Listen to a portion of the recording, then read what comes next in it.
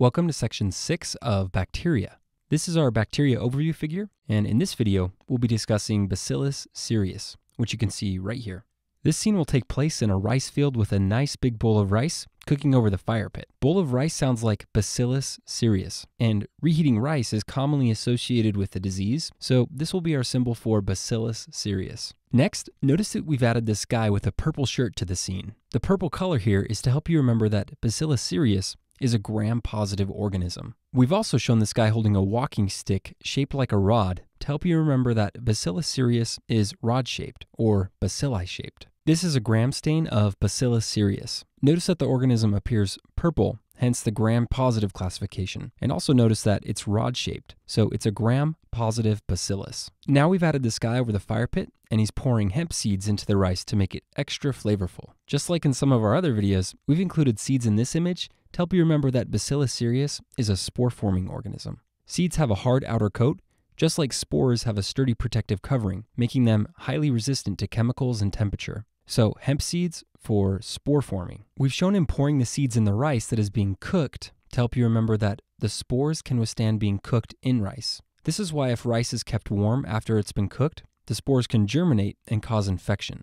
This idea is also why the disease is sometimes referred to as reheated rice syndrome. We've also shown this green, toxic looking smoke rising from the pot to help you remember that as the spores germinate, they produce an enterotoxin. So, green toxic smoke for enterotoxin formation. There are two types of food poisoning caused by Bacillus cereus the emetic type and the diarrheal type. Let's talk about the emetic type first. If you look closely at this guy's shirt, you can see that he's wearing an EMT badge. The letters EMT are in the word emetic, so this should help you remember that this guy represents the emetic type. We've also shown him eating rice because the emetic type is associated with rice and pasta. Also, rice cereal sounds like cereulide, so we've shown him eating rice cereal to help you remember that the emetic type produces cereulide toxin. As you can see, he doesn't seem to be enjoying the cereal too much. He's probably allergic to the hemp seeds and wasn't aware of the secret ingredient, which is why he's vomiting now. Poor guy. This is to help you remember that the emetic type causes vomiting. Now that he's vomiting, he realizes that he can't eat any more of this nasty stuff. So you can see him holding up his hand as if refusing more. The five fingers being held up like this should help you remember that the nausea and vomiting typically occur one to five hours after the ingestion of the toxin. Okay, now let's talk about the diarrheal type. We've shown this guy sitting in a puddle of water and holding his belly as if he has belly pain to represent this idea.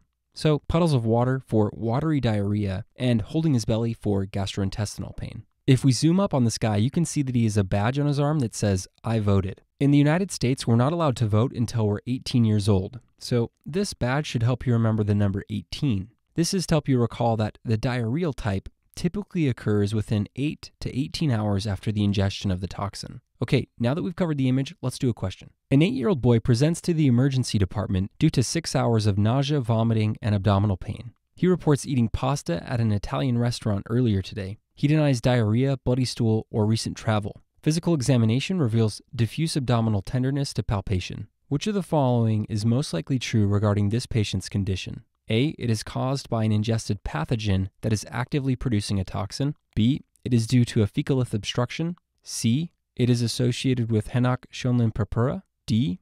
Microscopy will reveal non caseating granulomas. Or E.